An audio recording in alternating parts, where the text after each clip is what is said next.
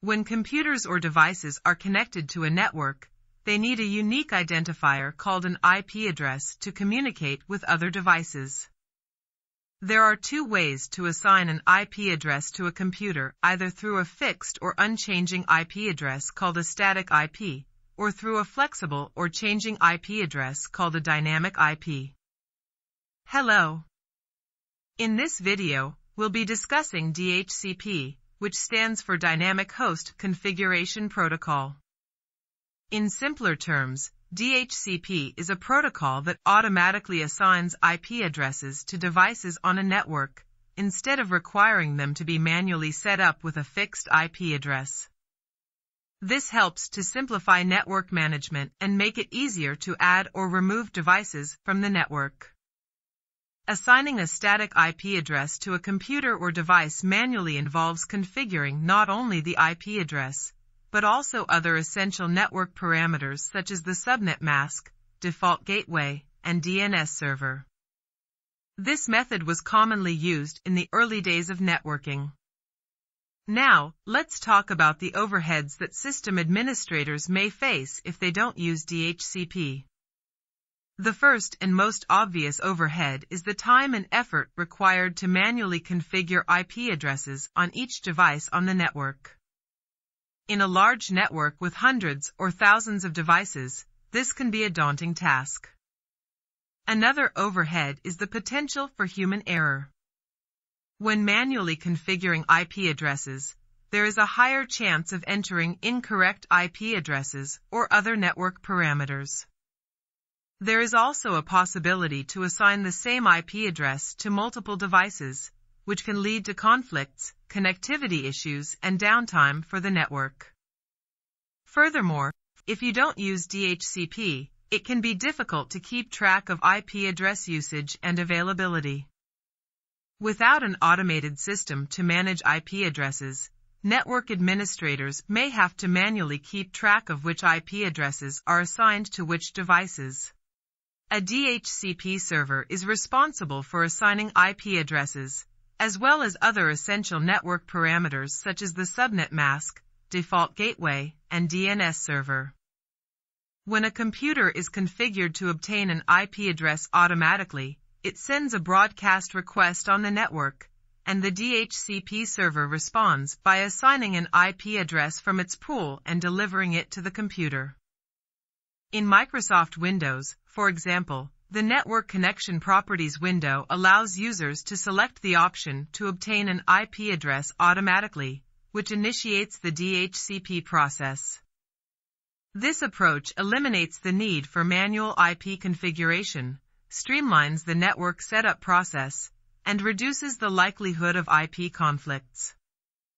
After obtaining an IP address automatically from a DHCP server, users can verify the assigned network settings on their computers. In Microsoft Windows, for example, one can open a command prompt and type ipconfig slash all to view the DHCP enabled status and the assigned IP address, subnet mask, default gateway, and DNS server.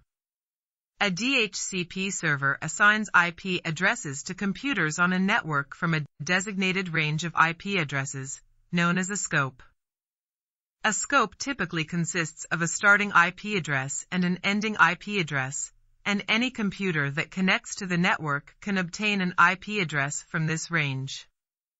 For instance, the scope on a server may begin with one IP address and end with another, providing a pool of 100 available IP addresses for computers to use. The values for IP addresses, subnet masks, default gateways, and DNS servers can be customized to adjust the range of available IP addresses for computers on the network. Network administrators can increase or decrease the range based on their specific needs. When a computer obtains an IP address from a DHCP server, it is not a permanent assignment, but rather a lease, which has a limited time period. The DHCP server assigns the IP address to the computer for a certain period of time, such as one day. The purpose of the lease is to ensure that the DHCP server does not run out of available IP addresses within its scope. The lease time can be customized. In case a computer is removed from the network, its IP address is returned to the pool of available IP addresses, and the DHCP server can assign it to another computer. To avoid IP addresses being wasted, leased IP addresses have an expiration time, and computers must request a renewal before the lease expires to keep the same IP address. This helps the DHCP server to keep track of which IP addresses are currently in use and which ones are not, ensuring that IP addresses are used efficiently.